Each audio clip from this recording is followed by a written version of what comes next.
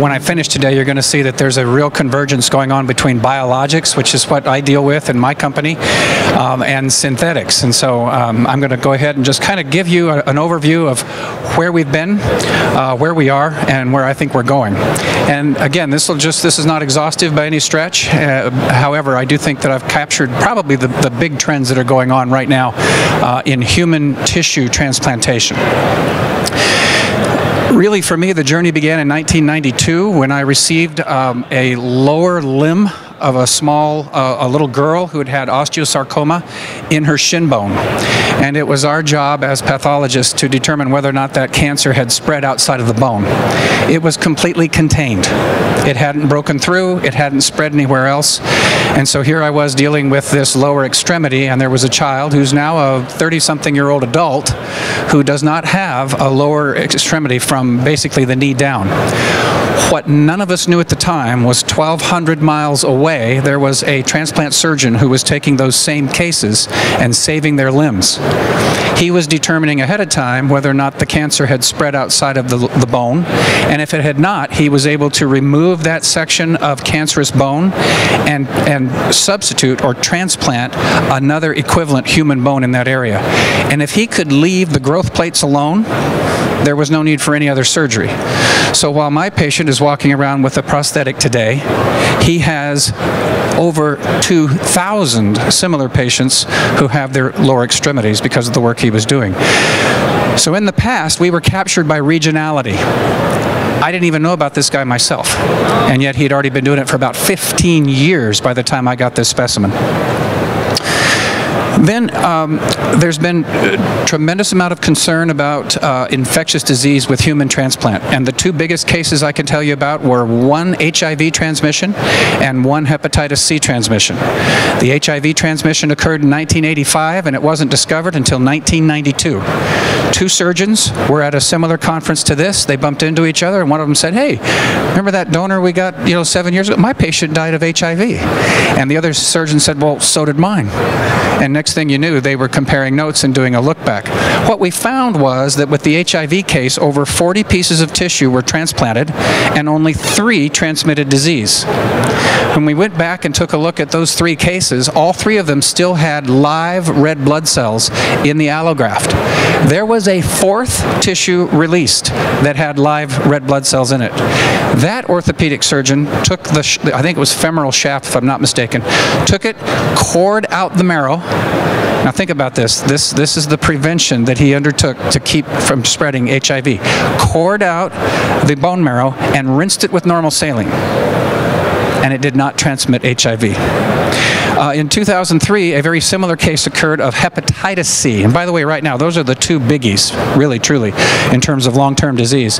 2003, there was a hepatitis C case. Again, over 40 pieces of human tissue were transplanted and only four transmitted. And again, those were uh, tissues that actually had live red blood cells in them. But the biggest, most important uh, issue was that there, in both cases, there were samples that we could go back, archived samples, and we could run PCR testing on them. I call it NAT or nucleic acid testing.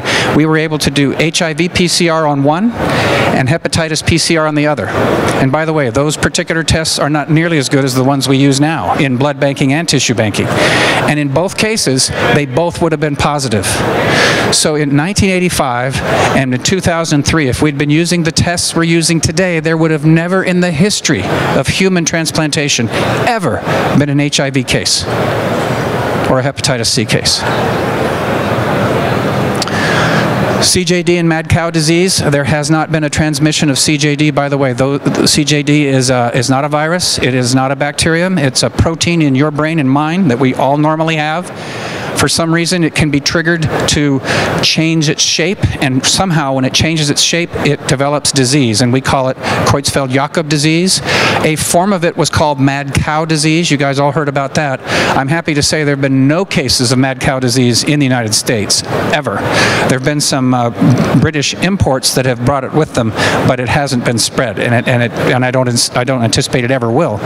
But we get about one out of every million Americans come down with CJD every year And in 1974, there was a transmission from corneal transplantation. And I loved how Stephen had corneas up there because that is definitely that's a that's a hot item for curing corneal blindness in the world. And that case in 1974 was a patient with dementia. So in 1974, we simply started ruling out donors with dementia, and there hasn't been a transmission since.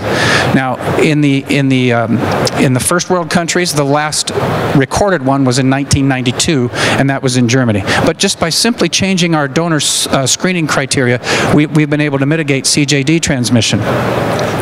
And then uh, it, it's hard to believe it was 10 years ago, but 10 years ago there was a guy in New Jersey that was stealing body parts. And he was uh, pretending that they were suitable for transplantation. He was making up donor charts. Uh, he was taking uh, donors that were positive for syphilis and HIV and hepatitis C and hepatitis B and just falsifying the records and releasing them, which is amazing in and of itself because there were no transmissions of disease from those donors. And that, I have to say, that, that shocks me too. But at any rate, the one thing that the guy had not done in 2005 is he had not gotten American Association of Tissue Banking accreditation. He hadn't gone through that rigorous process. And I will say that in 2005, I think he could have fooled them. But as a result, uh, the AATB has taken pains to make sure that kind of thing could never happen. And as a result, I believe that that's what kind of brings us up to my next slide, which is where we are today. AATB certification, at least on the processor level, is now the price of admission. Most hospital systems will not accept human tissue that is not from an AATB accredited bank. Now, why do I say at least processor?